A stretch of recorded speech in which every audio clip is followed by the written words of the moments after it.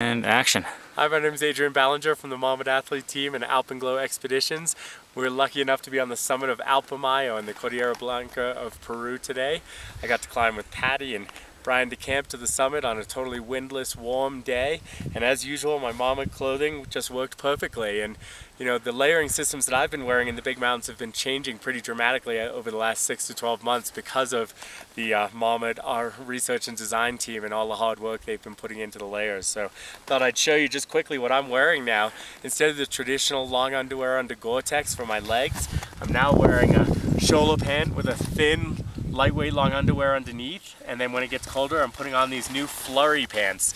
These are a synthetic lightweight insulation and uh, they're coming out in the fall of this year, fall of 2009 and they've just transformed what I want to wear in the mountains. They're easy to get on and off even over crampons because they have long full zippers. They're still pretty well fitted so I can climb in them and not worry about catching my crampons on the other leg and they have uh, resistant, you know, extra layering just where you need it in the knees and the butt. So they're absolutely fantastic. And then you really can't go wrong with a six ounce waterproof jacket. This is the uh, the uh, Marmot Nano jacket. Absolutely fantastic. It's lightweight, but in it's still fully waterproof and fully windproof for use up here.